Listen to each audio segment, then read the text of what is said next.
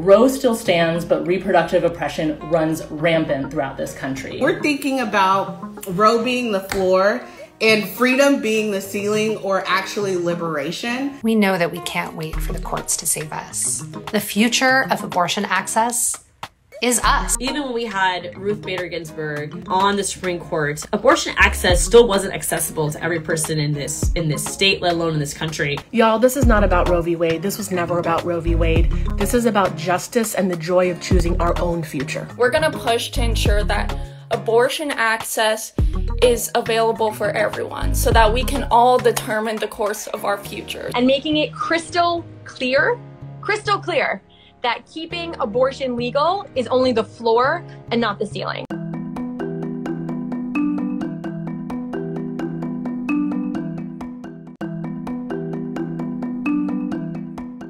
My youngest sister is in high school right now, and um, I knew whenever I was graduating high school and entering college that I wanted to obtain my degree and start a career before starting a family. Having access to birth control and safe reproductive health care was imperative in making that um, true for me. So, um, considering the new Supreme Court nomination of Amy um, Coney Barrett, what are your particular plans to protect women's reproductive rights in the U.S.? Number one, we don't know exactly what she will do, although the expectation is that she may very well move to overrule, overview, overrule Roe. The only responsible response to that would be to pass legislation making Roe the law of the land. That's what I would do.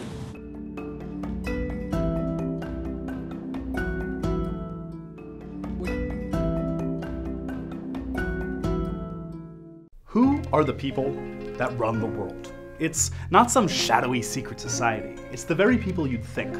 Politicians, the ultra rich, military contractors, monarchs, media moguls. Hi, I'm Sean Morrow, the host of Who Is the Podcast, the first podcast from NowThis and iHeartRadio. On Who Is, I'll dive deep into the fascinating lives of the people who run things, those whose decisions impact every aspect of our lives. How did they get where they are today? And knowing that, what might they do next? How do they use all this power they've accumulated?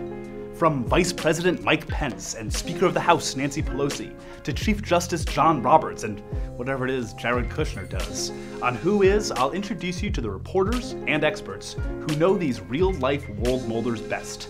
Sharp eyed observers and confidants who work with, follow, and examine our subjects every day.